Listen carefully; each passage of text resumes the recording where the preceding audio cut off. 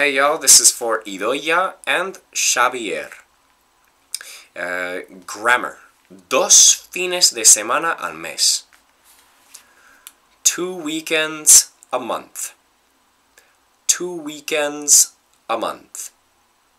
Me gustaría tener su trabajo. I would like to have her job. I would like to have her job. And then uh, we have vocabulary. Levantar o coger peso in the gym.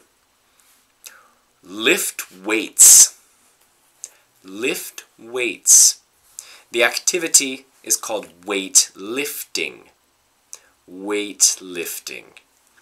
Then uh, consciente. Conscious. Conscious.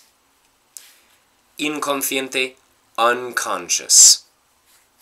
Unconscious. Uh, lastly, pronunciation.